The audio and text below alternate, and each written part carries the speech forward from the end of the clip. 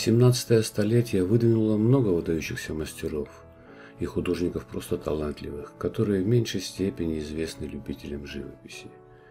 Все они были создателями атмосферы этого века, обозначившего поступь эпохи нового времени.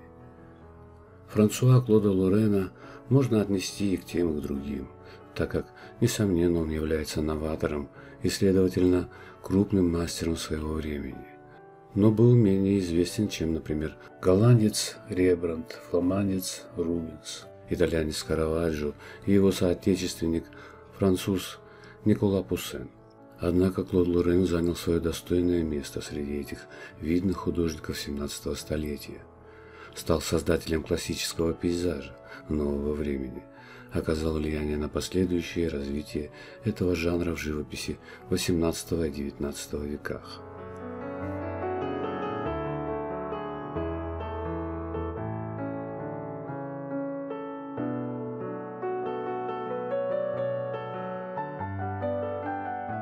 Искусство Клода Лорена высоко оценивалось современниками и деятелями культуры в эти два столетия.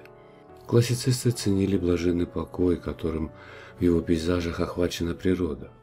Рейнольдс в 1769-1790 годах, читая лекции в Королевской академии Лондона, говорил слушателям с кафедры о возвышенном стиле и о хорошем вкусе Клода Лорена его удивительном даровании на основе обобщения, то есть отбора всего прекрасного в природе, создавать идеальные пейзажи.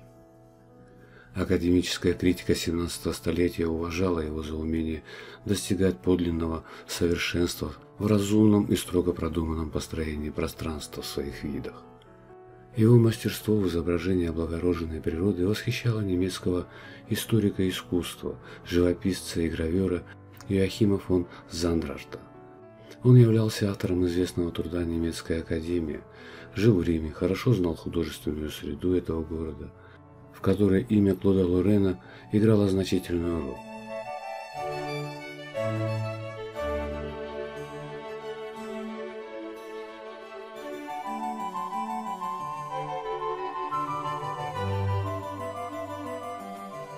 Особую четкость и ясность построения пейзажа Лорена отмечал Иоганн Вольфган Гёте. Веймарский классик хранил дома воспроизведенные в гравюры работы блистательного Клода, как он его называл. Гёте так вдохновенно писал о художнике. Здесь перед вами совершенный человек. Он умел не только мыслить, но и воспринимать прекрасное. В душе же его всякий раз рождался мир, редко встречающийся в действительной жизни. Его картины проникнуты высшей правдой, но правдоподобия в них нет. Клод Лорен до мельчайших подробностей изучил и знал реальный мир, однако это знание было для него лишь средством выражения прекрасного мира своей души. Подлинно идеальное и состоит в умении так использовать реальные средства, чтобы сотворенная художником правда создавала иллюзию существующего.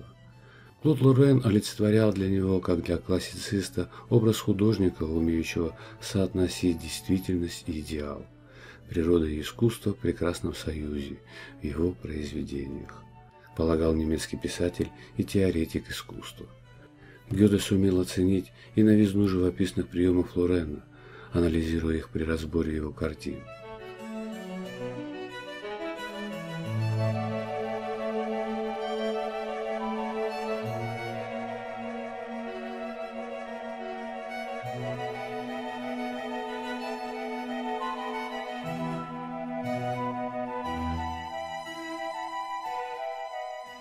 Самыми тонкими ценителями именно живописных достижений французского мастера стали романтики. Они увидели искренность его чувства в видении природы, особую музыкальность цветовых сочетаний, тонкость передачи многообразных впечатлений от натуры. Эжена де Лакруа, правда, в большей степени увлекло дарование Никола Пуссена, он полагал, что знаменитый современник Клода сумел своими произведениями глубже вторгнуться в интимный мир человеческой души, пробудив ее к сопереживанию особой красоты итальянских ландшафтов. Величайшему английскому пейзажисту Джону Констеллу ближе оказался Клод Лорен. В шести лекциях о пейзажной живописи, прочитанных им в 1836 году в Королевском институте в Устере, он уделил много внимания Клоду, как назвали его англичане. Констебл писал о трудолюбии художника-иностранца, приехавшего в Рим и кропотливо вечерами занимавшегося в академии, а днем работавшего в полях, то есть рисовавшего в римской компании. Констебл полагал, что Клод достиг мастерства и в изображении фигур, так как написанные им самим персонажи исполнены без погрешностей, в отличие от тех, которые изображали в его пейзажах другие мастера.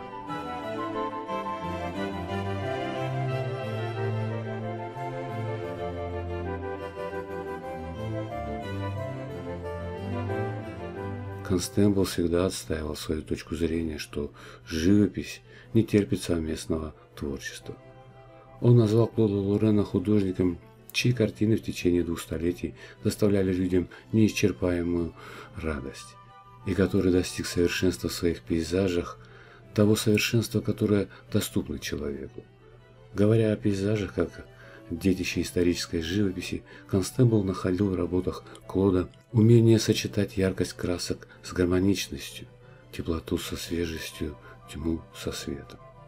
Именно Констебл отметил в его пейзажах почти всегда сияющее солнце, тональное разнообразие, контрастность или гармонию света и тени, которые возникают в результате видоизмененных световых отражений – изменения цвета под влиянием этих отражений и переломлений. Полагая, что картина – это научный опыт, и будучи мастером XIX столетия, Констембл пытался детально разобраться в методе Клода. Для солнечного света у него есть только один желтый и свинцовые белила. Для глубоких теней – лишь умбра и сажа. Прозрачность – вот в чем совершенство работ Клода.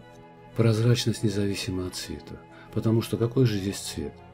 Констебл образно писал и о том, что каждое время выдвигает перед художником свои задачи. Невозможно повернуть его вспять, и подражание манере отдельных пейзажей Клода Лорена выглядит в новую эпоху анахронизмом. Я мог бы надеть костюм Клода Лорена и выйти в нем на улицу, и многие, кто знает Клода Лорена поверхностно, стали бы раскланиваться со мной, снимая шляпы, но, наконец, я встретил бы человека, который был с ним знаком. Он разоблачил бы меня, и я подвергся бы презрению, вполне заслуженному.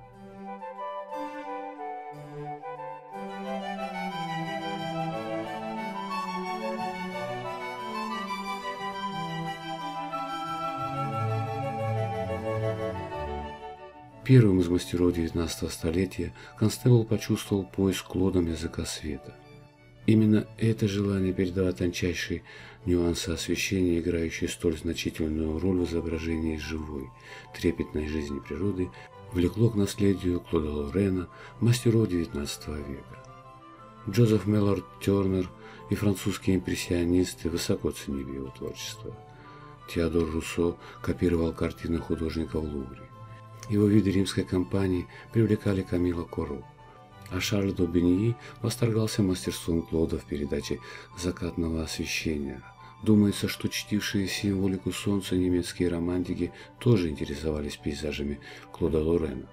Для них солнце было светом, обнаруживающим истину. Аллегорическая фигура истины и во времена художника изображалась солнечным диском в руке – и античная сентенция «Истина дочь времени» широко воплощалась в 17 столетии в сюжете «Время, открывающее истину». Видя в солнечном свете прообраз грядущего времени, ожидания нового утра, олицетворяющего идеальную эпоху, романтики высоко чтили солнечный миф, все связанное с метаморфозами света. Как знать, может быть, и сам Клод Лорен в пейзажах которого именно солнечное освещение и его отражение играют такую значительную роль, не только был очарован особыми красками природы Италии, но и пытался воплотить в свете нечто большее, сокровенное. Ведь он предпочитал изображать именно свет солнца, а не луны, как это делали некоторые его современники.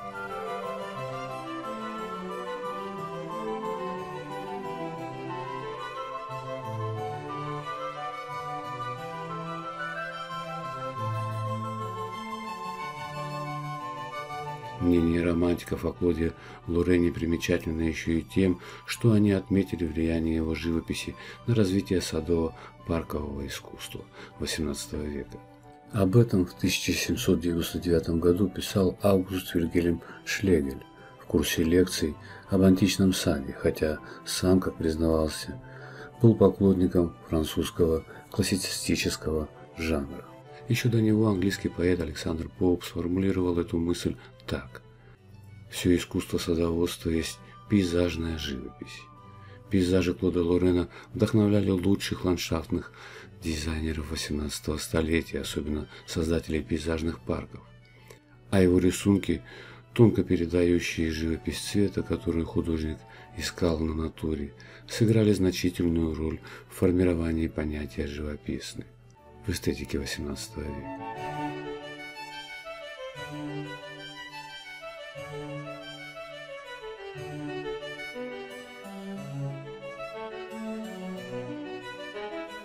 О даровании Клода Лорена высказывались и совершенно иные мнения.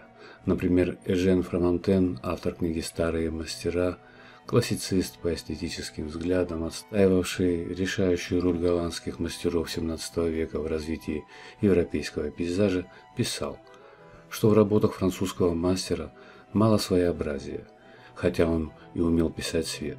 Фромантен так характеризовал Клода Лорена – Художник по существу простодушный, хотя торжественный. К нему обращаются, им любуются, но у него не учатся, а главное, на нем не останавливаются и к нему уж, конечно, не возвращаются. Строг в оценке Клода Лорена был и Джон Рёскин, утверждавший, что он живописец, обладавший посредственными способностями, и что он лишь хорошо умел делать одну вещь, но делать ее лучше, чем все другие – Английский критик и историк искусства тоже имел в виду умение изображать солнце на небе. Его возмущала искусственность пейзажей Клода. Возможно, Рёскин не очень хорошо знал римскую кампанию и не ощутил, сколь глубоко художник почувствовал душу этой легендарной страны, начинающейся за воротами Рима.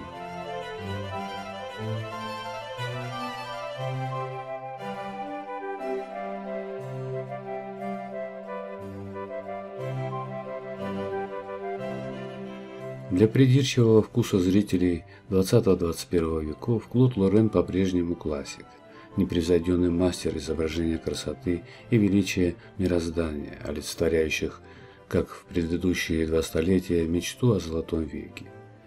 Ведь с легкой руки Овидия, поделившего жизнь человечества на четыре стадии, золотой век всегда грезился скорее в прошлом, чем в будущем. Все сказанное известными людьми о Клоде Лорене позволяет представить себе масштаб этого художника. Его искусство никого не оставляло равнодушным, побуждало к размышлениям.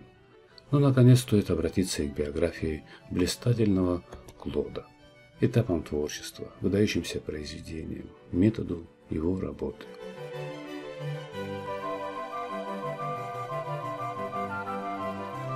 Клод Желе родился около Луневилля в Шампании, во владении герцога де Лорен. Отсюда и происхождение его прозвища Клод Лорен. О себе он говорил Клод Желе, прозванный Ле Лорен. Достаточно скупые сведения о его биографии сохранились в трудах авторитетных авторов 17 столетия, уже упоминавшегося раньше фон Занрарта, а также Бальдинуччи, Бальони, Беллори, Филипьена, Последнего больше привлекала другая вершина искусства Франции XVII века – Пуссен. В XVII столетии о Клоде Лорене упоминали Пасколи, граф Даржанвиль, Ланци. В XIX веке англичанин Джон Смит составил достаточно полный каталог живописных работ художника, причислив его к кругу самых известных европейских мастеров.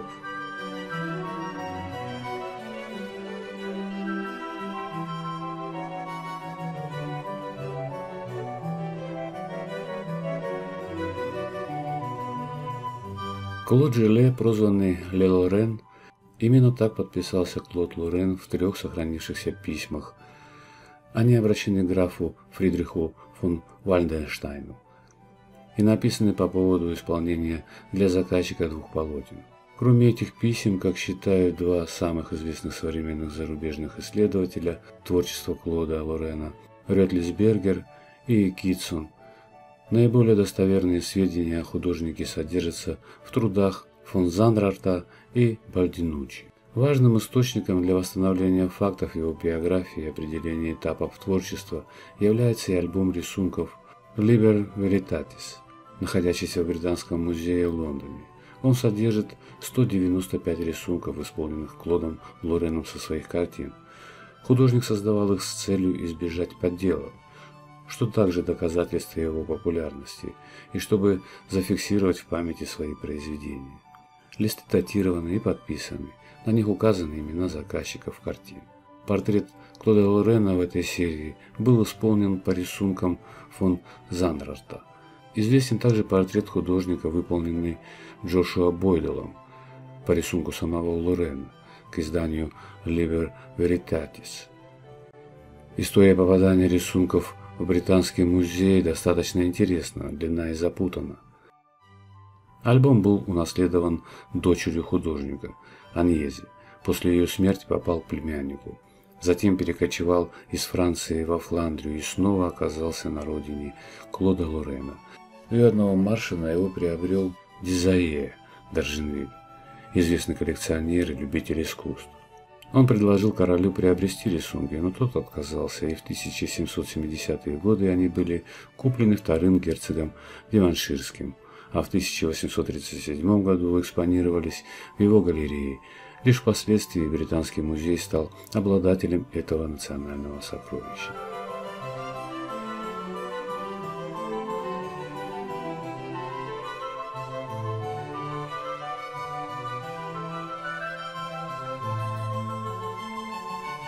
Клод Жиле был, по-видимому, третьим или четвертым ребенком в семье. Его первым наставником в обучении ремеслу считается старший брат, скульптор по дереву. Около 1613 года Клод приехал в Рим, где начал работать под руководством живописца Агустино Тасси, мастерская которого исполняла заказы на росписи дворцов. По сведениям Филиппо Бальдинуччи, он посетил Неаполь, годы неизвестны, где работал живописцем Гафредо Уолсом. 1625 или 1627 годами датируется отъезд Клода Лорена в Нанси, столицу лотарингского герцогства, где он пробыл около полутора лет, сотрудничая с Клодом Деруэ в исполнении фресок в церкви кармелитов. В 1627 году художник покинул Нанси и 18 октября возвратился в Рим.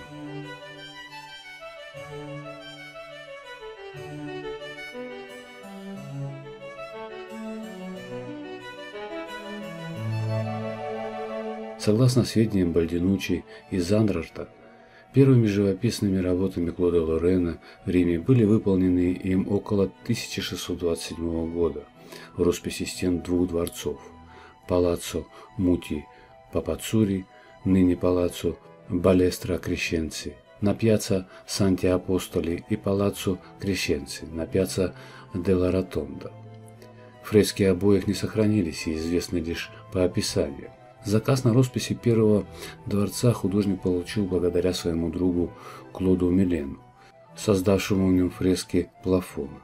Для семейства Мути, свидетельствует Бальдинучи, Клод Лорен расписал кассони, свадебные сундуки, предназначавшиеся для другого дома, не сохранился. Этих заказчиков, расположенного на площади Испании около церкви Санта-Тринита де Монти.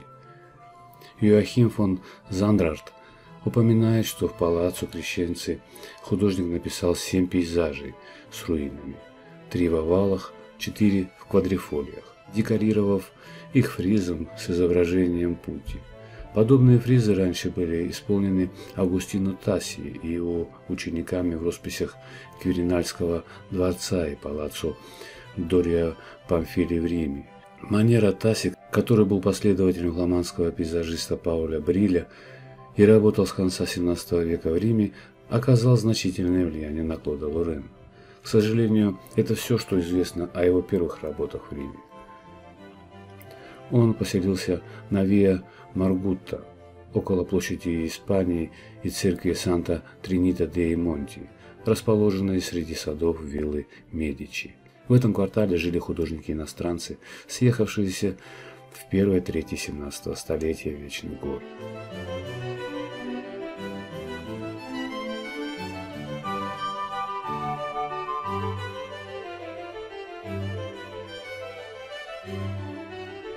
Овеянный славой античных шедевров Рим, проникнутая светом южного солнца природы Италии, очаровали Клода Лорена.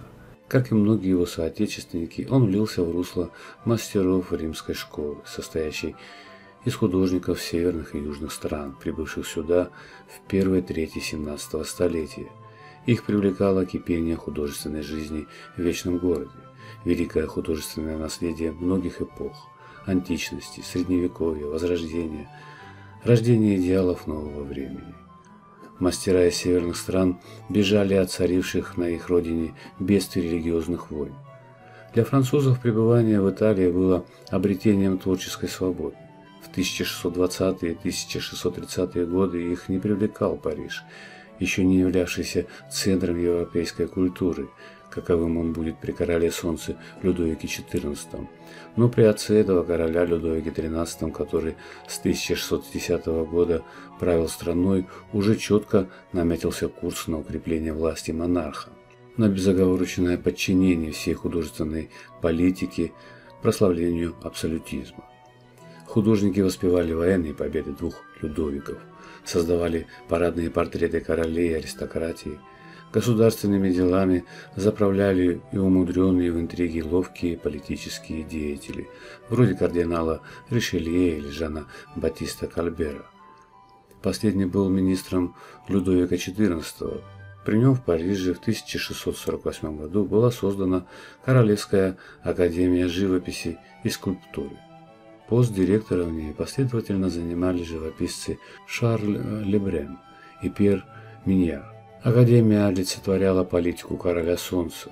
Идеалы стиля классицизм, господствовавшего во Франции, все больше превращались в академическую доктрину.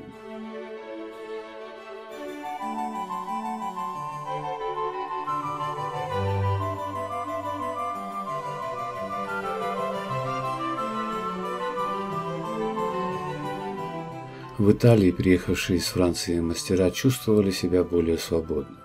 Они вливались в интернациональную художественную среду Рима, где царили интеллектуальный обмен, пиетет, классики. Контрреформация вызвала к жизни бурную строительную деятельность монашеских орденов, озабоченных возведением новых храмов и их украшением с целью пропаганды идеалов христианства. Служители веры видели в искусстве реальную наглядную силу, способствующую утверждению и распространению религиозных идей. Особую силу обрел орден иезуитов, канонизировавший имена святого Игнатия Лайолы и его ученика святого Франциска Ксаверия. Орден выстроил две красивые церкви – Сант-Андрея Аль-Гвиенале и Иль-Джезу, церковь Матери Христа, покровительствовал миссионерской деятельности иезуитов.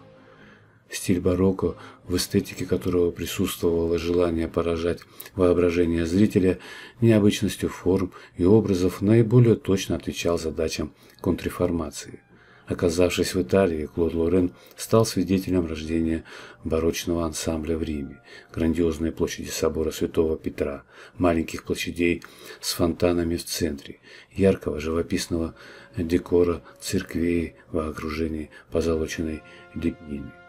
Эмоциональность стила барокко воплощалась в причудливых двухэтажных фасадах храмов, созданных выдающимися итальянскими зодчими Карло Модерно, Джованни Лоренцо Бернини, Франческо Барамини, Карло Райнальди.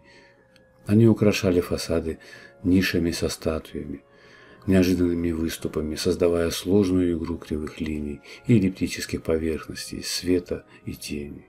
Внутри церкви над головами молящихся, зрительно уничтожая архитектурную поверхность, художники изображали открытое в небо пространство, в котором парили фигуры святых. Талантливые мастера из ученой Болонии, братья Карачи, Доминикино, Гверчино, Гвидурини были самыми известными создателями подобных барочных росписей. Они умело соединяли в них свои впечатления от работ мастеров Возрождения – Рафаэля, Кареджо, Микеланджело, увлечение античной классикой. Исполненные ими росписи своими яркими красками, манерностью и эффектностью напоминали театральное представление, возносящееся над зрителем, словно в Поднебесье.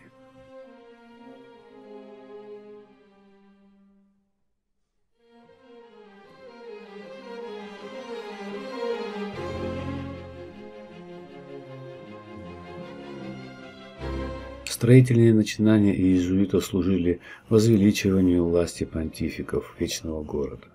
Да и сами папы Павел V Бургезе, Урбан VIII Барберини, Александр VII Киджи, Иннокентий IX Адескальки, последовательно возглавлявшие престол, покровительствовали художникам и архитекторам, были меценатами и коллекционерами. Римские мастера мечтали завоевать особое расположение папы представителей знатных родов, стремившихся упрочить свою значимость благодаря возведению дворцов и вилл.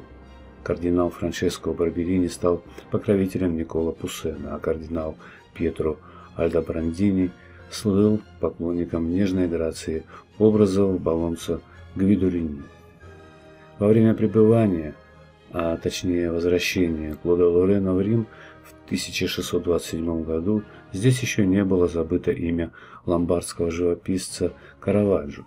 Художники из многих стран стали верными последователями его нововведений, особых приемов передачи освещения, выявлявших внутреннюю духовную энергию образов, мощную пластику фигур и изображенных предметов, интереса к простонародному типажу.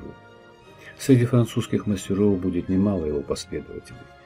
Влияние Караваджо проявилось также в развитии бытовой живописи, натюрморта, то есть жанров, считавшихся низкими по сравнению с исторической живописью, картинами на религиозные, исторические и мифологические сюжеты.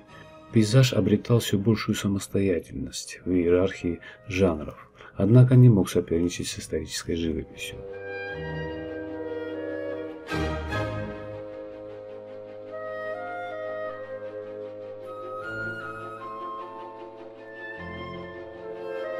Но сама магия Рима и компания, олицетворявшие вечность Рима, неразрывно соединенной с ее образом, вдохновляла художников на работу в пейзаже. Ее ландшафт рождал преклонение перед историей вечного города, очаровывал воображение возвышенными, вызванными к жизни историческими воспоминаниями. Идеальные виды римской компании передавали в своих рисунках и картинах работавшие в Италии голландские и фламандские художники-итальянисты. Полотна с библейским и мифологическим стафажем в пейзаже в таинственном ночном освещении создавал немец Адам Альцгеймер.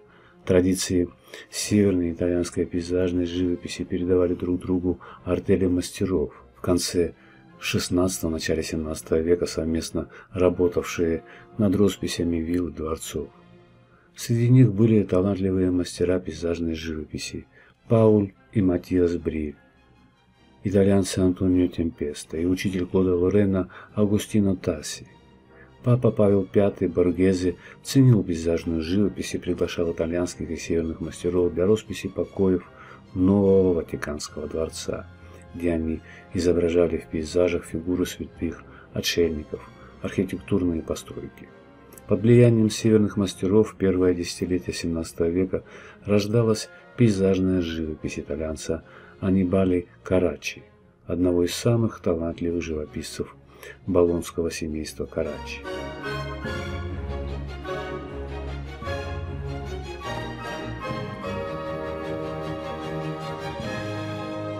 Пейзаж Клода Лорена тоже был результатом синтеза его римских впечатлений. В отличие от героического пейзажа Пуссена, который создавал эпические образы природы, пейзаж Клода исследователи называют букалическим, считают более лиричным.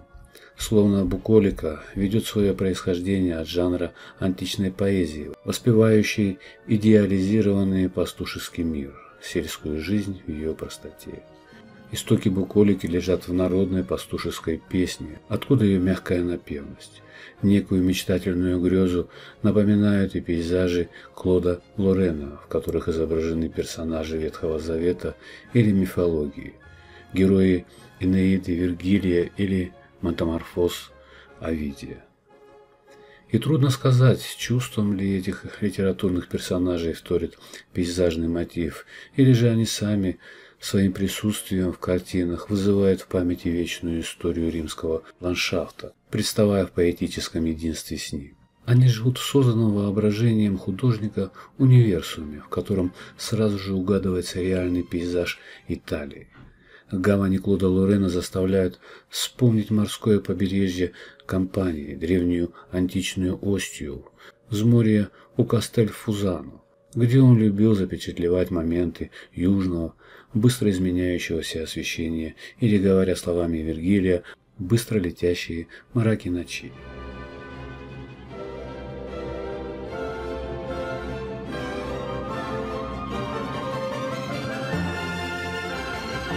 В часто изображаемых художником сценах высадки на берег или отплытий видятся эпизоды из Энеиды о прибытии троянского царевича Энея и его друзей то на остров Делос, то на Сицилию, то в Карфаген, к берегам Африки. И везде он воспроизводит описываемые римским поэтом обоюдо весельные, то есть с веслами по обоим бортам корабли. В архитектурных постройках, играющих значительную роль в его пейзажах, легко узнаваемые римские триумфальные арки. Пантеон, храм Севиллы в Тиволе, виллы Медичи, неподалеку от которой он жил, Некий Элизиум, где обитают его персонажи, сразу вызывает в воображении образ римской кампании с ее долинами, холмами, горами вдали, среди которых живописно течет Тибр, сбегаются на перекрестках лесные дороги, разбросаны виллы, развалины акведуков, старых мостов, овитые плющом руины построек, темнеют силуэты мощных деревьев. И все это заколдованное место окутано особой туманной дымкой, смягчающей форму. Из-за Сабинских или Альбанских гор восходит солнце. Этот светоч фибийский, как называет его Вергилий в Энеиде. И на фоне беспредельной глади моря, поглощающей его свет, возникают образы бредущих по его берегу троянцев, путешествующих под покровительством богов.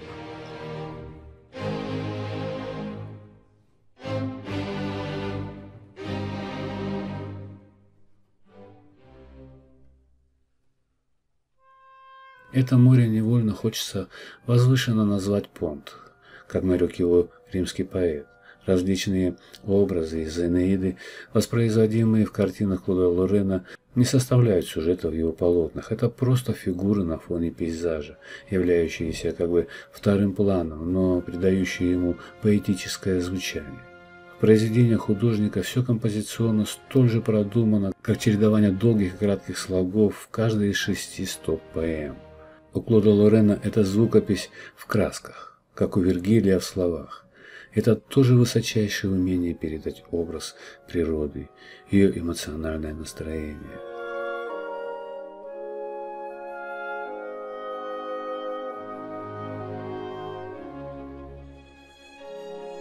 Клода Лорена принято считать мастером классицистического пейзажа и образы природы идеальны. Изображенный мотив, как правило, соотнесен или с античной историей, или с литературой, или с мифологией, или с искусством, превращен в мечту о красоте и гармонии, олицетворением которой для художника-классициста была классика.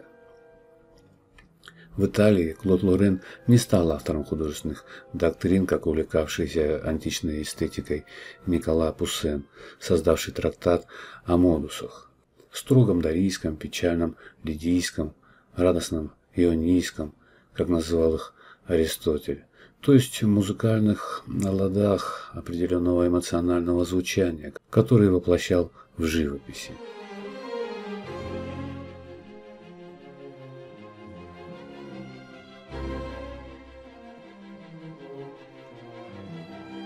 Он не был склонен к подобному рациональному теоретизированию, но созданные Клодом Лореном пейзажи тоже заключают в себе определенную музыкальность, передачи ощущения художника от пейзажного мотива. Они строятся по принципу классицистического пейзажа с четко чередующимися планами, темным первым и более светлым вторым и третьим. Деревья и архитектура создают кулисы, словно предоставляя сценическую площадку для фигур, находящихся на первом плане. Но персонажи не являются репертуаром его картин. Изображенные на фоне глубокого пейзажного пространства, они скорее его камертон, как и выбор природного мотива, и все вместе рождают некое единое настроение. Раскрытию этого тонкого восприятия природы служит и живописная манера художника, основанная на поиске тончайших соотношений и градаций тонов, валеров, передающих световые эффекты.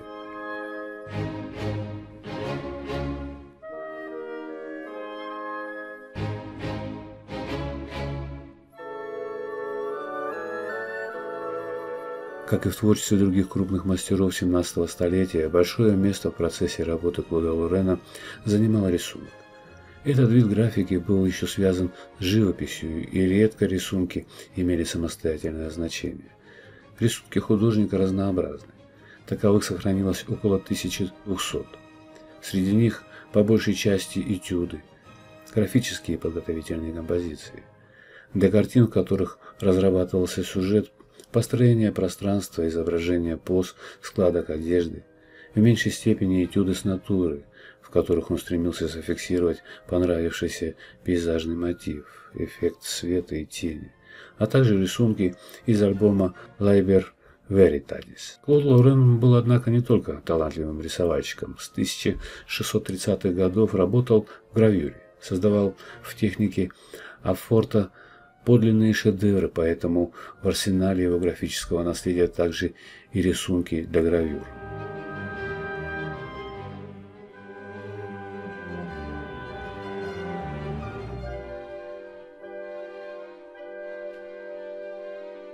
Рисунок был для художника школой и подсобным материалом для живописного произведения.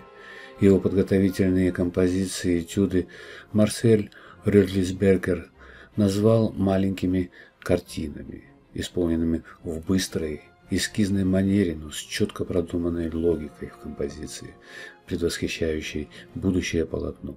Совершенно особым шармом наделены и рисунки Клода Лорена, исполненные на натуре. Иоахим фон Зандрарт сообщает, однако, что художник мало использовал их при написании картин, но Филиппо Бальдинучи упоминает, что такие зарисовки были для него ценнейшим материалом в работе. Эти пленительные по свежести восприятия природы Италии этюды создавались во время путешествий по компании. О них образно написал Эжен Фрамантен. Тут Лорен один из тех одиноких любителей прогулок, которые бегут из городов и чувствуют природу без напыщенных восторгов, рассказывают о ней без фразы. Их волнуют далекие горизонты, восхищают далекие равнины, их возбуждает мрак и солнечный луч.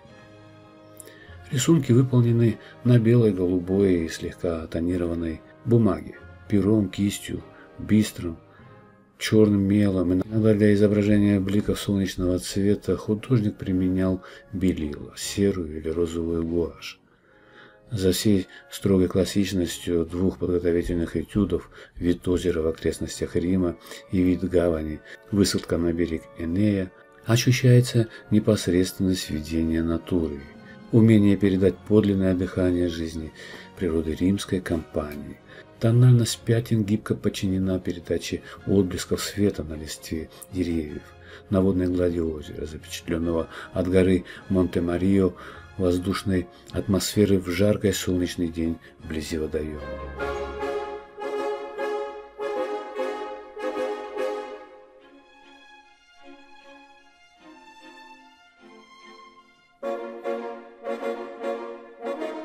Клод Лорен жил в Риме, как упоминалось ранее. Сначала на Виа Маргута, а с 1650-х годов на Виа Паулина, Бабуину, около церкви Сант-Анастазио, но неизменно в том же квартале близ площади Испании.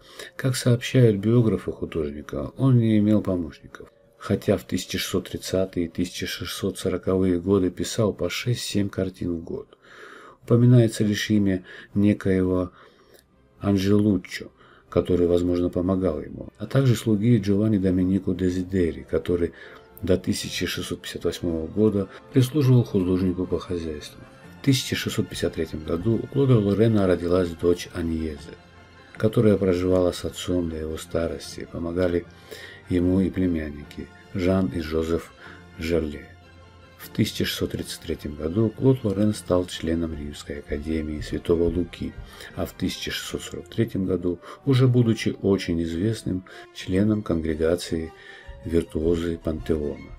У него всегда было много заказчиков, среди которых биографы упоминают кардиналов Массими и Бантиволио, принцев Киджи, Альтерии, Колонна, Половичини, самого папу Урбана VIII, любившего картины на пасторальные мотивы, кардинала Медичи, который был адмиралом Тосканского флота и ценил виды портов, с изображением виллы Медичи. Работы художника покупала английская знать. За его творчеством следил французский посланник Людовика IV в Риме и агент по вопросам искусства в Италии Луи Танглуа, приобретавший его работы. Покупал произведения Лорена и архиепископ Монпелье.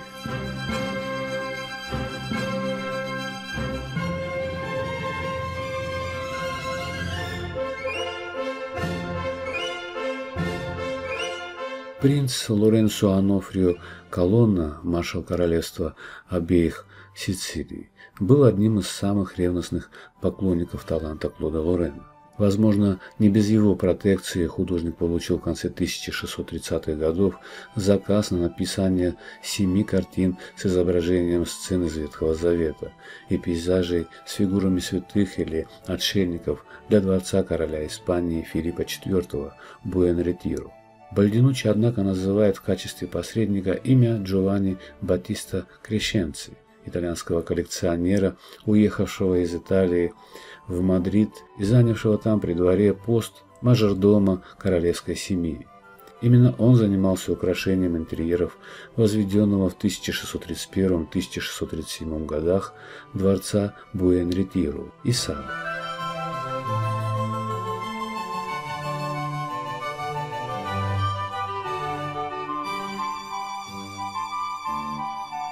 В эту первую значительную серию полотен Клода Лорена вошли картины «Пейзаж с кающейся Магдалиной», «Морской пейзаж с отшельником», «Пейзаж с молитвой святого Антония», «Нахождение Моисея», «Погребение святой Серафины», «Пейзаж с отплытием святой Паулы из Остии», «Пейзаж с Товием и Ангелом», ныне хранящийся в музее Прадо. Фигуры отшельников и святых вписаны в пейзаж с изображением дикой природы напоминают работы Пауля Бриля и Агустино Тасси, не стремившихся передавать его грандиозность.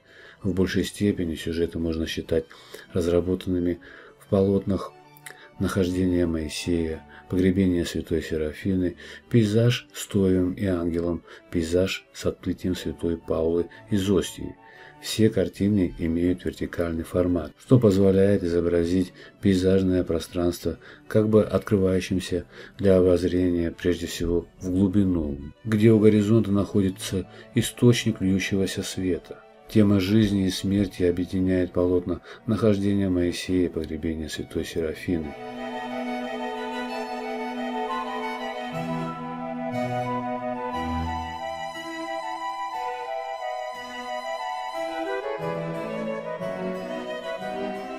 История христианки Серафины из Сирии, обратившей свою веру римлянку Сабину, у которой она была рабыней, и за это казненной сцена погребения святой в каменном саркофаге представлена на первом плане, перекликается с сюжетом из Ветхого Завета о спасении от смерти младенца Моисея, найденного в корзине у Нила дочерью египетского фараона, приказавшего истребить у иудеев всех младенцев мужского пола. Приметы современной жизни органично соединены художником с элементами, олицетворяющими легендарные сюжеты картин.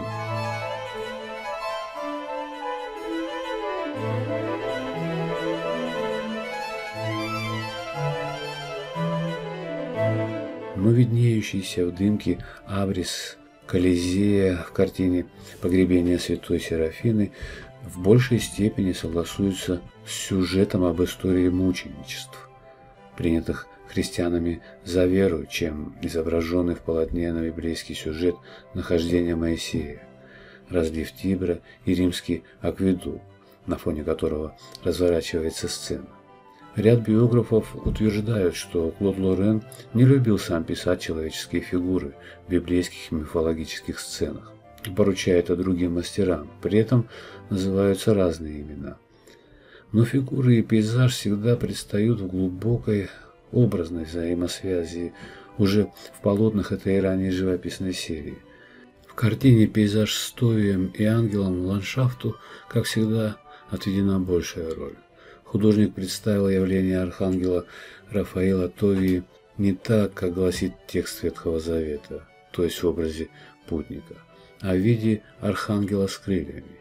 Их встреча происходит на берегу реки, течение которой устремлено вдаль, словно символизируя долгий путь, который предстоит Товию и покровительствующему ему архангелу во имя излечения от слепоты старца Товита, отца Товии.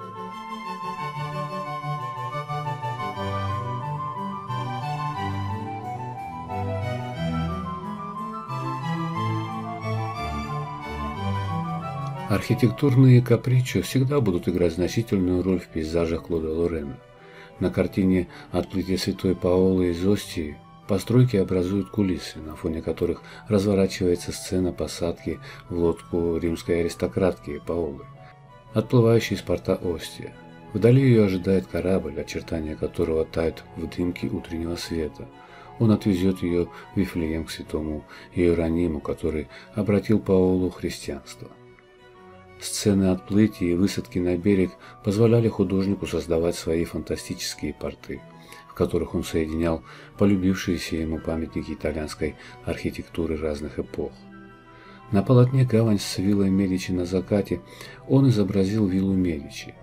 В сценах из поэмы «Овидия» вилла всегда олицетворяла постройки таинственного Карфагена, откуда отплывало из царства царицы Дидоны Эней заброшенный туда волей богов. На картине «Гавань с виллой Медичи на закате», созданной для кардинала из этого знатного тосканского рода, Клод Лорен написал корабль, стоящий в порту под флагом ордена Святого Стефана, основанного семейством Медичи в 1562 году для борьбы с еретиками в Среднеземноморье. Впоследствии художник будет часто вводить в картины и изысканный силуэт храма Сивиллы в Тиволе возвышающийся среди слона, замерзший вокруг него в торжественном покое дикой природы компании. И совершенно неожиданно в кулисном обрамлении гавани на картине «Вид порта с Капитолием» появляется палацу консерваторов, неотъемлемая часть римского Капитолия, придающая порту особенно величественный вид.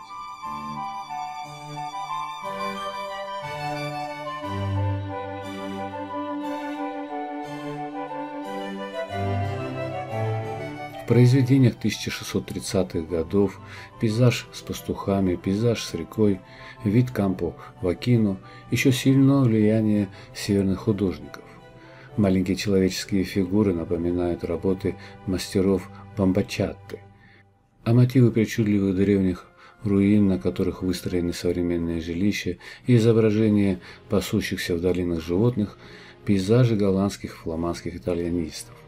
Клод Лорен умел в большей степени апоэтизировать подобные сюжеты. Изображенный на полотне пейзаж с рекой и небольшой водный поток словно напоминает ручей Аламоне, окруженный дубами и холмами, несущий свои воды в холодной ночи компании, который так образно описан в метаморфозах Овидия.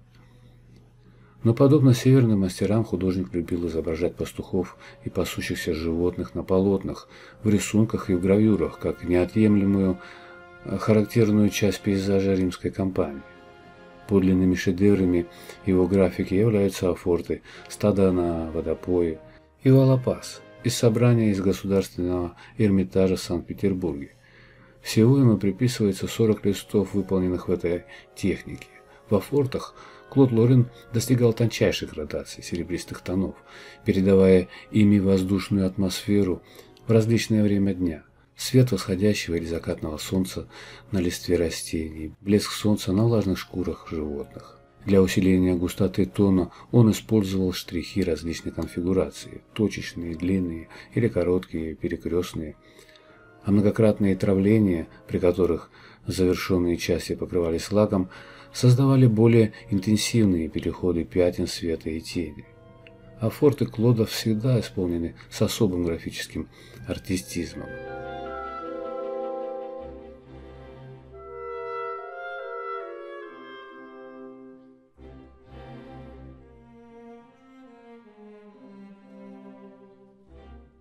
Полотно Виткампо Вакино было написано для коллекционера Филиппа де Петюне, посла Франции в Риме.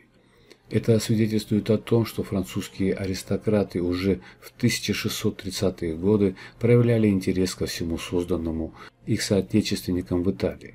Маленькие фигуры на первом плане, представленные среди руин бычьего форума Кампо Вакино, написаны в манере мастеров Бампачаты.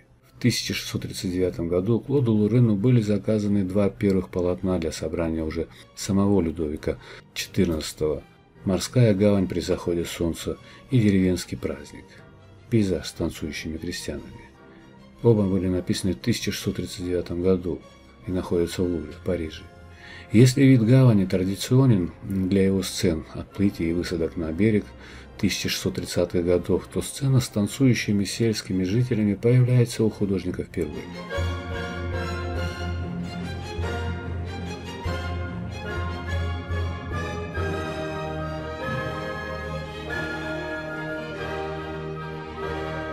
Они веселятся на фоне широкой панорамы компании. Вдали виднеется римский акведук, а сами они ассоциируются с фавнами и нимфами, живущими среди дубрав, Лацио, которых описывал Вергилий в Энеиде. К изображению сцен с веселящимися крестьянами или отплясывающими в хороводе фауном и нимфами Клод Лорен будет неоднократно обращаться в 1640-е годы. Пейзаж с танцующими крестьянами 1640 года, э, пейзаж с танцующими сатирами, фигурами 1641 года, пейзаж э, с танцующими фигурами 1648 год. Все эти картины были написаны для разных знатных заказчиков из Италии и из Англии и, по-видимому, отвечали вкусам того времени.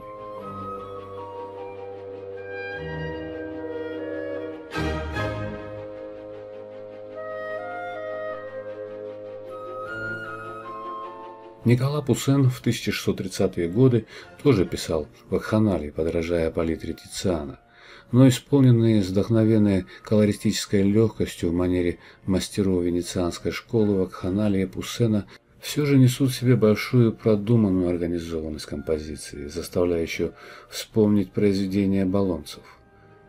Сцены Клода Лорена менее классичны. Необузданная стихия вольной природы, то безоблачное счастье на ее лоне, которое они призваны передать, воплощены художником, которому ближе не искусственность баллонцев, а большая естественность и непосредственность видения натуры северных мастеров. В его образах нет чувственности героев Ваханали Пуссена. Своей занимательностью они напоминают персонажей мастеров Бамбачаты – Крестьяне или мифологические фигуры Клода Лорена – это некий сплав его натурных наблюдений, литературных реминисценций, связанных с образом самой римской кампании, сюжетами из метаморфоза, преображенными фантазией художника.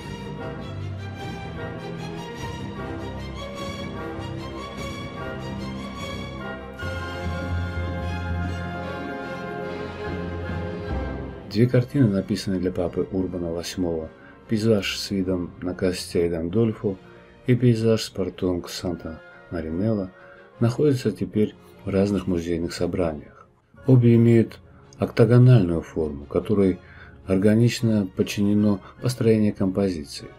В обоих полотнах от фигур на первом плане открывается вид на беспредельную даль окрестностей Рима, Кастель Гандольфо и Санта-Маринелло. Быть может, именно Клод Лорен был первым живописцем, который еще в 17 столетии предугадал поиски пейзажистов-романтиков XIX века, которых будет привлекать мотив «скачка» для взгляда зрителя, когда он переводит его от фигур первого плана к беспредельному пространству изображенного вида. Конфигурация холста как бы срезает кулисы, чем также усиливается впечатление глубины пейзажа компании.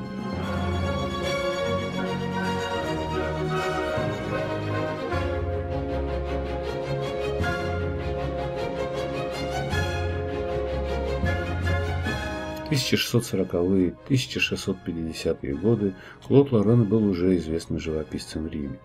Он продолжал интенсивно работать, обращаясь к излюбленным темам, часто создавая варианты одного и того же сюжета, но всегда находя какое-то новое композиционное решение. Так тема отплытия получает развитие в картинах 1640-х годов. Пейзаж с отплытием Святой Урсулы, отплытие Клеопатры в Тарсе, отплытия царицы Савской.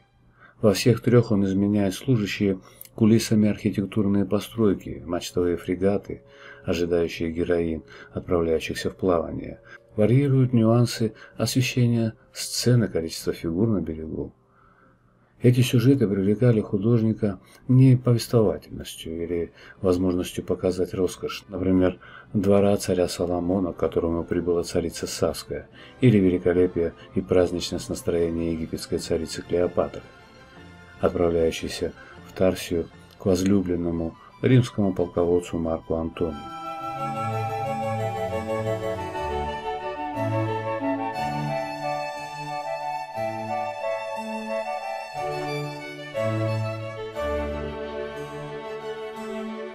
Художника не слишком волнуют исторические подробности. Например, царица Савская представлена прибывшей к Соломону с караваном верблюдов. Учтены не все характерные атрибуты святой Урсулы, кроме знамени с красным крестом на белом фоне. Но его привлекает возможность представить сцены на фоне морского пейзажа с величественными портиками зданий, мачтами кораблей, большим количеством фигур, загружающих лодки рыбаков живописными группами спутников отплывающих героинь.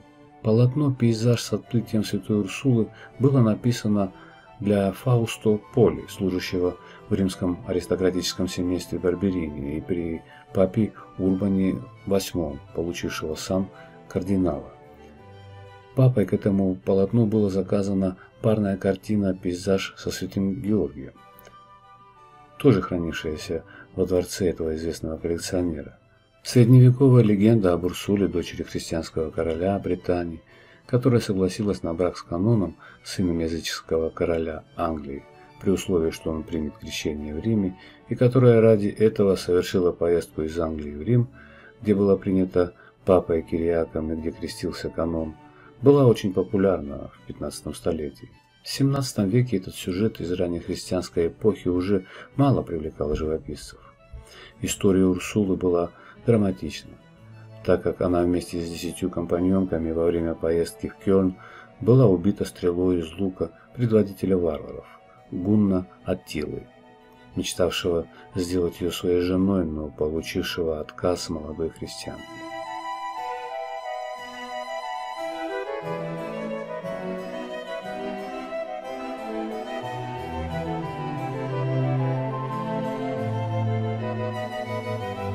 Для Клода Лорена эта легенда была связана с Римом, и он представил сцену на фоне причудливой гавани, в изображении которой, как всегда, достиг исключительной стройности композиции, живого единства пейзажа и фигур, соединил вымысел и высокую степень конкретности. Яркое поэтическое воображение проявил Клод Лорен и в полотне «Пейзаж со святым Георгием», представив юного воина в пейзаже, словно воскресив тему рыцарского подвига, победы над неверными, которая привлекала мастеров эпохи Возрождения. В обеих картинах звучат ноты напоминания о Святой Земле, об освобождении от неверных, связанных с личностями Святой Урсулы и Святого Георгия. Возможно, это была своего рода дань идеям контрреформации и, быть может, просто реминисценции увиденных монументальных живописных циклов Виторий Карпаччо, запечатленных этим художником в начале 16 столетия на стенах филантропических братств Венеции.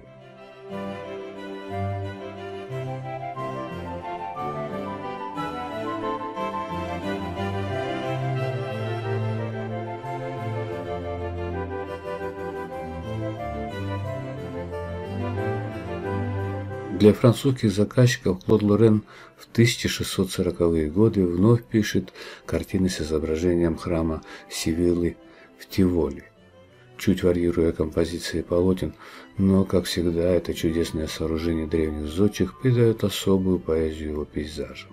Вызывая воспоминания о вечности компании с ее шелестящими, шелково-листой линиями, лаврами, эвкалиптами, дубами и оливами, с темой Рима и компании связан сюжет большой картины «Троянки и поджигающие корабли».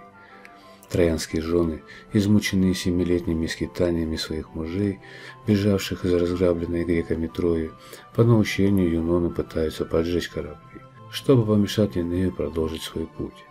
Согласно Вергилию, Троянский царевич породнился с итальянским племенем латинян и основал вечный город.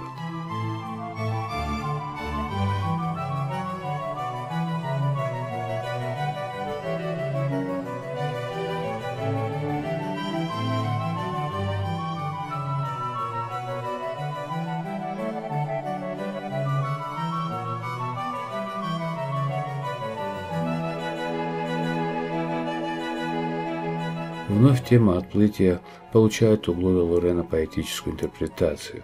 Единство воды, неба, по которому бегут гонимые эолом облака, влажной атмосферы воздуха у морского побережья, переданные художником с великолепным живописным мастерством. Вспоминаются строки из третьей песни Энеиды. Путь на Италию здесь, переезд кратчайший по волнам. Солнце заходит меж тем, оттеняются темные горы. Картина была написана для кардинала Джералама Форнезе, нунция папы Урбана VIII. Исследователи творчества художника склонны предполагать, что Клод Лорен провел здесь некую параллель между трудностями служебной карьере кардинала и благочестивого Энея, так называет героя Вергилий, претерпевшего удары судьбы из-за противоречивых намерений богов.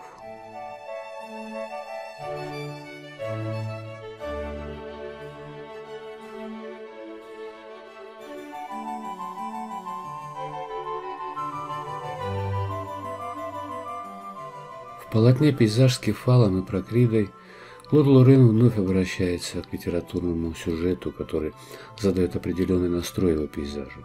Картина входила в цикл из пяти произведений, созданных для принца Камило Памфили, владельца дворца на Корсу в Риме и виллы во Франции. Этот сюжет из метаморфоз Овидия часто избирали мастера барокко, но их привлекал его драматический аспект – момент смерти возлюбленной Кефала Прокриды – убитый горем Кефал, победно летящая над ними, Аврора, нарушившая безмятежное счастье двух любящих сердец. Что может быть прекраснее того, как Клод передал эту волнующую историю, напишет впоследствии Джон Констебл, восхищенный лирическим пейзажным решением сюжета.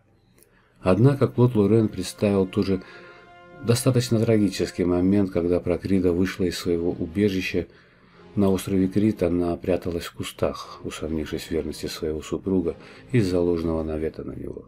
И Кефал, услышав шорох, метнул в нее копье, убив свою возлюбленную.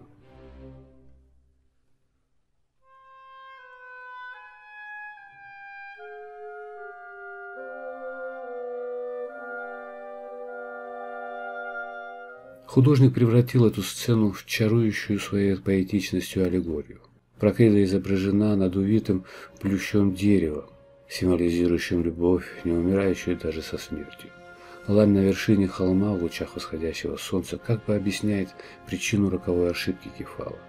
Столь же лирически тонко вторит пейзажу компании сюжет полотна «Пейзаж с Аполлоном», охраняющим стада Адмета, и Меркурием, угоняющим его коров, относящихся к серии полотен для принца Памфилии.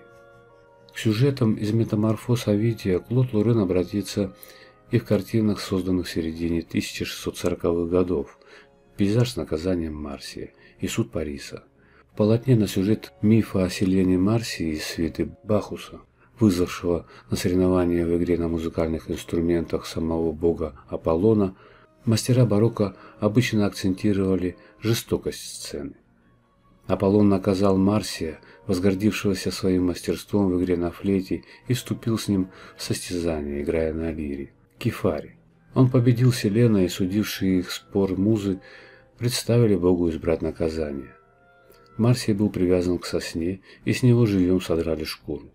Изображенную в пейзаже сцену нельзя назвать букалической. Колорит пейзажа достаточно темный, вторящий происходящему. Это полотно уже отчасти предвосхищает многофигурные работы художника 1650-1670-х годов, его интерес к темам героического содержания.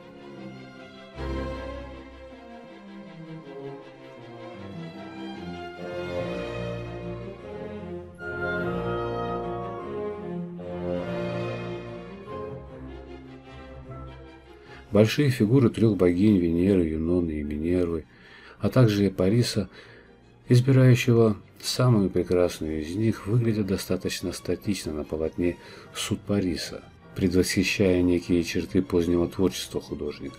Исследователи полагают, что поза фигуры Париса заимствована Клодом Лореном с гравюры Марка Антонио Раймонди или с полотна Доминикану, пейзаж с Иоанном Крестителем. История троянского царевича Париса вновь воскрешается художником в картине «Пейзаж с Парисом и Иноной». Она была написана как парная к полотну на сюжет из Илиады Гомера Улис возвращает Хрисеиду ее отцу. Заказчиком обеих картин являлся посол Франции в Риме, герцог Руже де Плеси де Ленкур. Он был известным коллекционером и имел в своем собрании работы Пуссена, северных мастеров-итальянистов. Возможно, именно он заказал обе картины для кардинала Ришелье. Клод Лорен в полотне «Пейзаж с Парисом» и Ноной по-прежнему остался верен букалическому пейзажу. Парис и нимфа фонтанов и водных потоков Энона, которую он покинул ради Елены, супруги Троянского царя, изображены в тени деревьев с пушистыми кронами. Как и на картине «Пейзаж с кефалом и прокридой», фигуры двух влюбленных представлены на фоне пейзажа римской кампании, мягкое освещение которого вторит лирическому сюжету.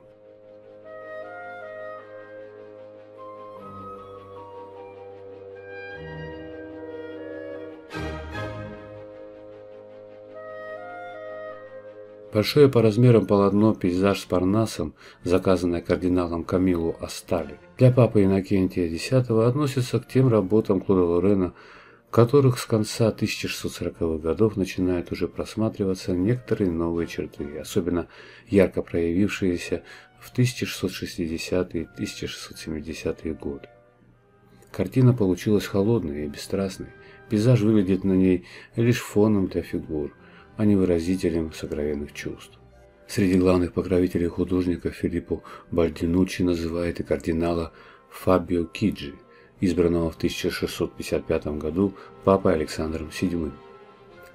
Для семейства Киджи в 1655 году Клод Лорен написал два известных полотна «Похищение Европы» и «Битва на мосту», хранящиеся в Государственном музее изобразительных искусств имени Пушкина. Сюжет из метаморфоз Овидия о похищении Европы дочери финикийского царя Агенора Зевсом, превратившимся в белого быка, часто привлекал художников своей поэзией. Фабио Киджи был ценителем литературы и живописи, привлекал лучших мастеров до работы. Галерею в Квиринальском дворце по его заказу расписывал прославленный Пьетро да Картона. Полотно Клода Лорена решено не как оно приобрело звучание, близкое к повествованию Овидия. Но пейзаж не перекружен фигурами, природа и мифологические персонажи находятся в глубокой образной взаимосвязи. Свет, льющийся из-за горизонта, мягко объединяет передние и дальние планы, сливая воедино легкие силуэты фигур Европы и ее подруг, спокойную гладь моря и прозрачную даль неба.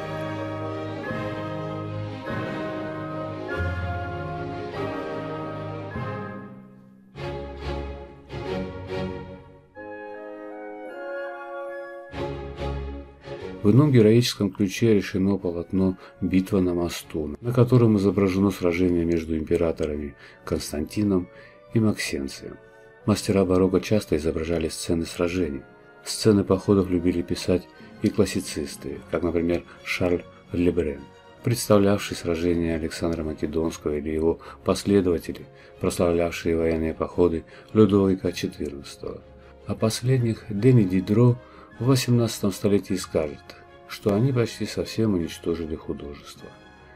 Прославленный французский критик любил, когда живописцы изображали большое поле битвы, требовал от них богатого воображения. Возможно, ему в картине Клода и не понравилась бы сцена битвы на мосту.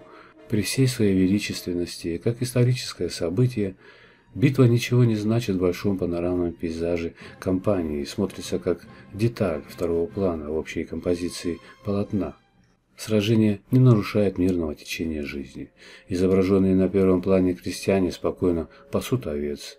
И оба плана, пейзаж и сражение вдали, выглядят э, на картине как современность и история, которые всегда присутствуют в видении художника.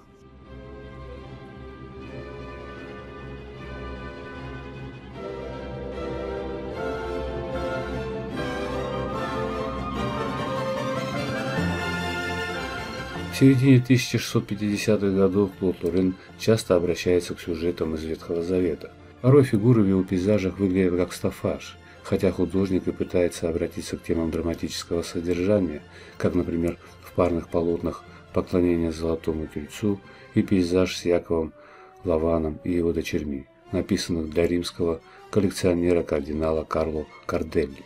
Но лучшие произведения Клода Лорена 1650-х годов полны высокой духовности, глубокого эмоционального восприятия красоты природы. Такова картина «Пейзаж» с Галатеей и Ацисом из собрания Дрезденской галереи. Обычно мастера 16-17 веков любили изображать определенные сцены из этого красивого мифа. Триумф морской нимфы Галатеи, несущейся в раковине в окружении тритонов, бегство от циклопа Полифема, влюбленных Галатеи и юноши Ациса, сына лесного божества Пана, сидящего на скале Пана, влюбленного в Галатею, играющего на флейте любовную песнь, Полифема, готового минуть с Ациса со скалы валун, который его убил – Мастера барокко в 17-18 столетиях писали музыку на эти сюжеты, полную пафоса и драматизма.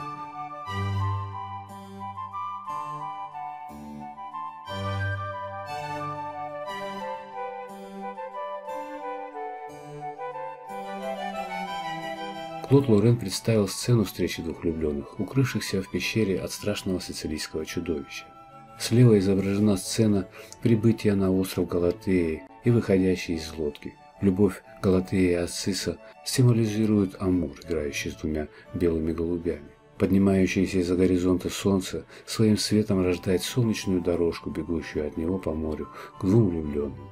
Ничто в этой идиллической сцене не предвосхищает драматической гибели Ациса. Сцена изображена в необыкновенном пространстве. От этого омываемого водами тихого убежища на острове Сицилия открывается вид на бездонную даль моря. Пейзаж рождает ощущение величия природы, вторящего высоким чувствам Ациса и Галатеи.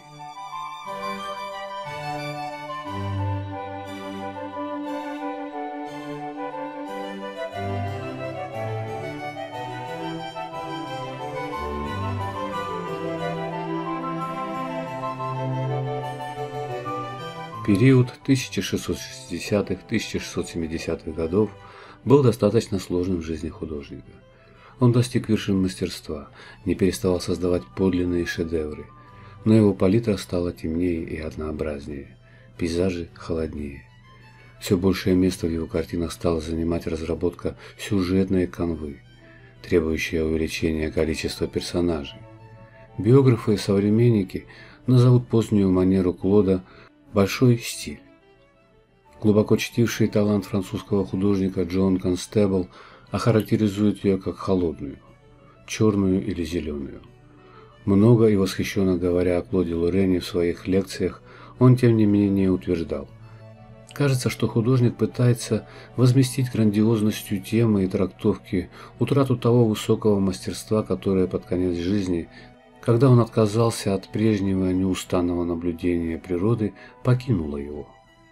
В 1660-1670-е годы Клод Лорен много болел и мог создавать в год уже не 6 или 7, а всего лишь 2-3 картины. Большую помощь ему оказывали племянники Жан и Жозеф Желе.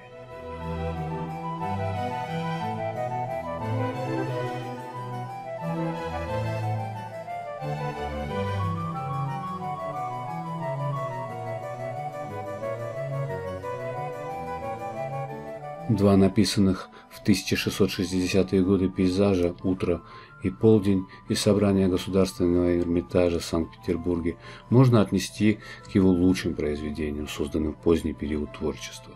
Великолепное колористическое мастерство художника раскрывается в этих полотнах, передающих чуть холодноватые серебристо-голубые краски природы компании на рассвете и более теплые и сочные их тона в часы ее ясного покоя в полдень. Большие деревья и античные руины погружены то в сумрачные тени, рождаемые утренним светом, то в светлую прозрачную дымку дневного освещения. В отличие от Никола Пуссена, которого в позднем творчестве тоже привлекало изображение различного времени дня, Клод Лорен не пытается соотнести каждый этап в жизни природы с библейской сценой, наглядно сопоставить бытие природы и человека но он тоже стремится постичь закономерность ее изменяющейся жизни, которую олицетворяет для него природа компании. И лишь взгляд такого художника, как Лот Лорен, способен столь глубоко почувствовать в этом пейзаже, словно не подающимся завоеванием цивилизации, особое историческое понимание времени. В этих полотнах природа олицетворяет и миг настоящего, и протяженность вечности, живет своей внутренней жизнью, вызывая эмоциональный отклик души желающего постичь законы ее бытия.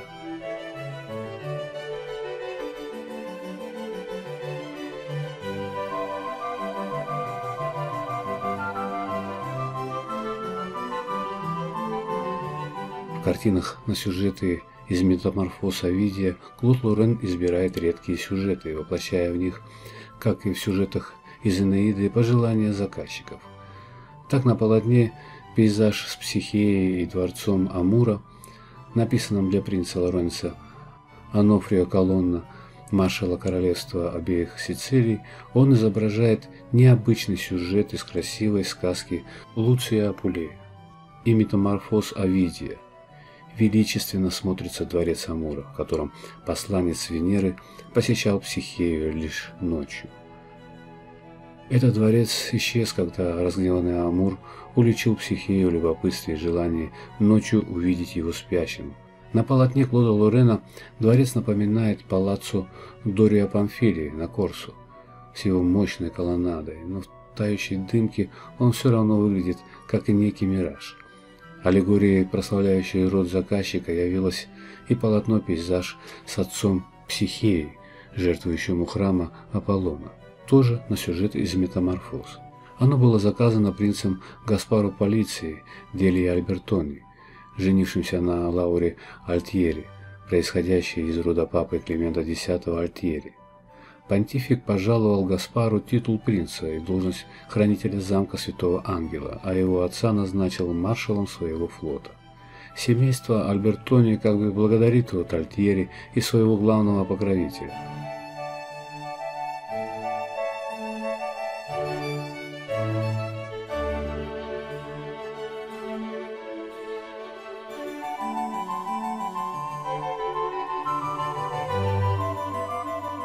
аллегории прославления рода папы Климента X Альтьери, Клод Лорен обращается и в картине «Пейзаж с прибытием Энея в Лациум».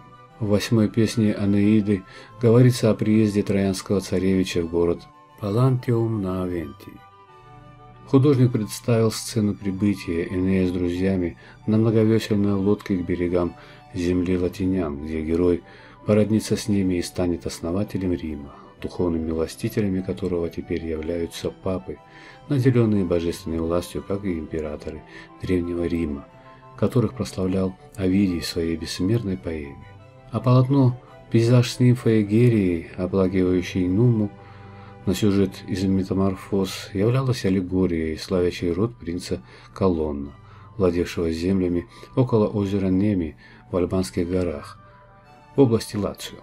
Нимфа источника Игерия почиталась как возлюбленная советчица в государственных делах второго царя Древнего Рима Нумы Помпилия, сабинянина по происхождению. Нимфа изображена оплакивающей своего возлюбленного в священной роще Дианы на берегу озера Неми.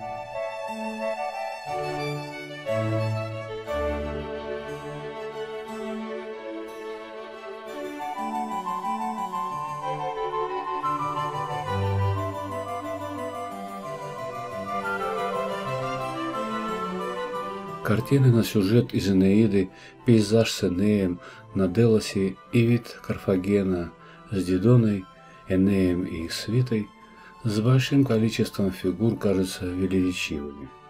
На полотне пейзаж с Энеем на Делосе изображена сцена прибытия троянского царевича из Фракии на остров, где его радушно встречает царь Апий. Полотно было написано для одного французского коллекционера, и как римский раритет смотрится на нем храм, напоминающий пантеон. Полотна «Пейзаж с Аполлоном» и Сивилой Кумской, на сюжет из Энеиды и пейзаж с Персеем и истории о происхождении коралла, на сюжет из Метаморфоз позволяют утверждать, что в поздние годы жизни Клод Лорен сохранил умение апоэтизировать мир природы. Оба пейзажа полны лирического настроения.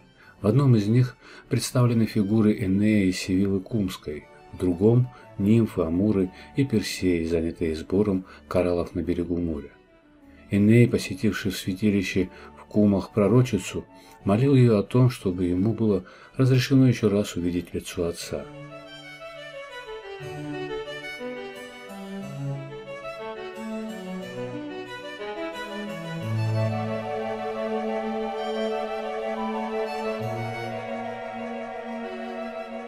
Мастера 17 столетия, в котором стал особенно популярен этот сюжет, изображали Сивилу Кумскую в образе дряхлой старухи, так как Аполлон наделил ее долголетием, но не даровал ей вечной юности из-за того, что она не ответила на его любовь. Клод Лорен представил Сивилу в образе юной девушки. Ее стройная фигура перекликается с колоннами античного храма, напоминающего храм Сивилы в Тиволе.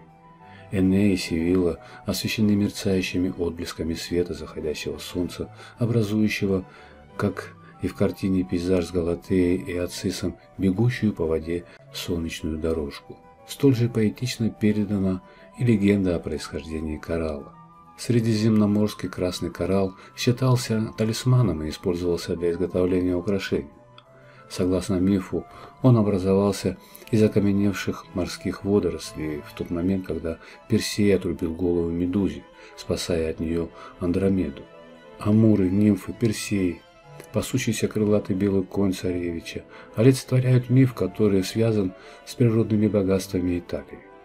Ее пейзажи с морским побережьем и легкими линиями, выросшими на скале причудливой формы в виде арки – породили воображение художника желание дать подобное образное воплощение этому мифу.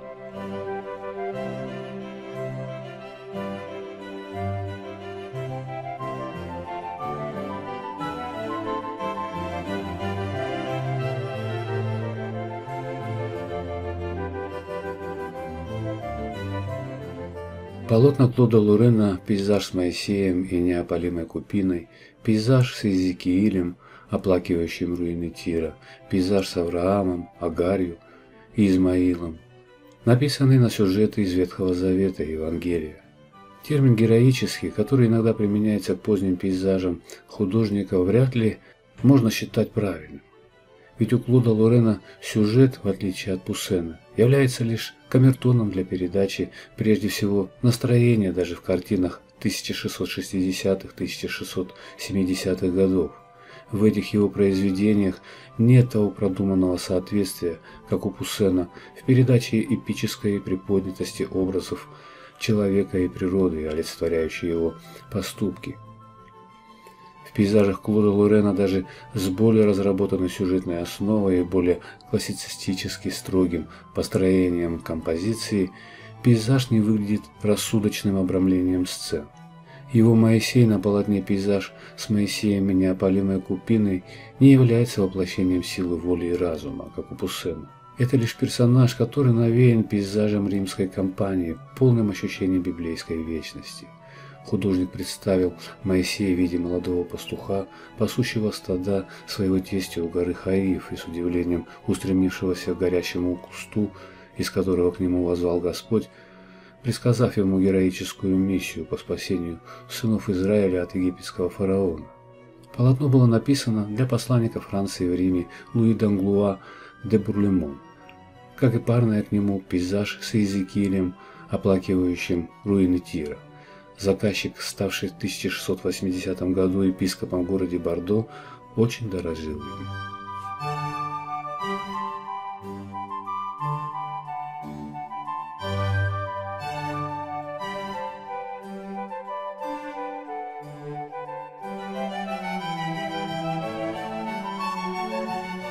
И уж тем более не героичен пейзаж со сцены из Ветхого Завета, пейзаж с Авраамом, Агарью и Измаилом, где фигуры иудейского патриарха Авраама, наложницы Агарии и их сына Измаила, которых старец отправляет в пустыню Версавию из-за гнева своей жены Сары, представлены почти в жанровой интерпретации.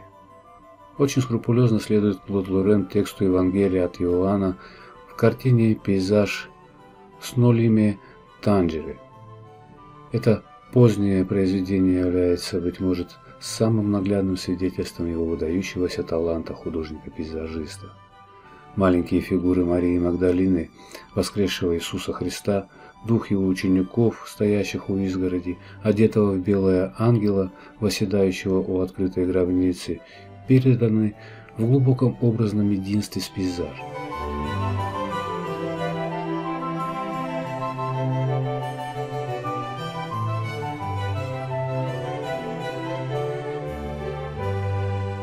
Воображение Клода Лорена преобразило вид компании, виднеющийся вдали за крепостными стенами Иерусалим и высящуюся справа за гробницей гору Голгофу.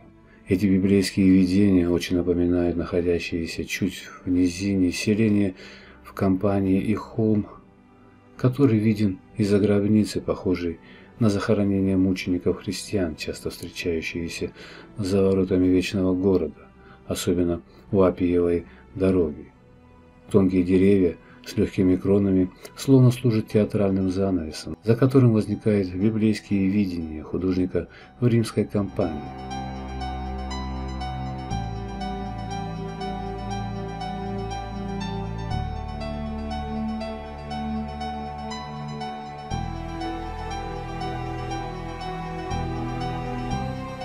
В одной из самых поздних картин Морская гавань при восходе солнца, Клод Лорен не перестает восхищаться утренним светом восстающего солнца, медленно преображающего строгие очертания фрегата у берега и римской триумфальной арки, ровно освещающего гладь моря.